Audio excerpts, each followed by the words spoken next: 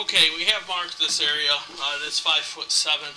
Unfortunately, we have not made it to the city main um, due to the length on our camera. We are going to return uh, tomorrow with a longer push rod. Uh, here you can see we have what looks to be possibly outside clean out. Uh, we are going to try and see if we can locate this at this time.